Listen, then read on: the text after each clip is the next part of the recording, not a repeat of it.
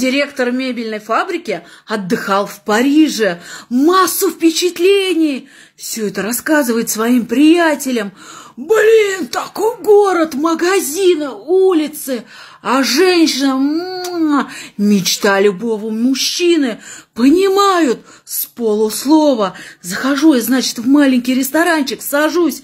Ко мне подсаживается такая прям умопомрачительная красотка. Понимает, что я по-ихнему на салфеточке рисует бокал, но я ей наливаю. Нарисует сигаретку, но я так прикурить. Потом рисует на салфетке две фигурки такие танцующие, но я ей пригласил на танец. Ну-ну, а потом, а потом рисует мне кровать. Ну, ну, ну а ты? Я до сих пор не пойму, как она поняла, что я директор мебельной фабрики.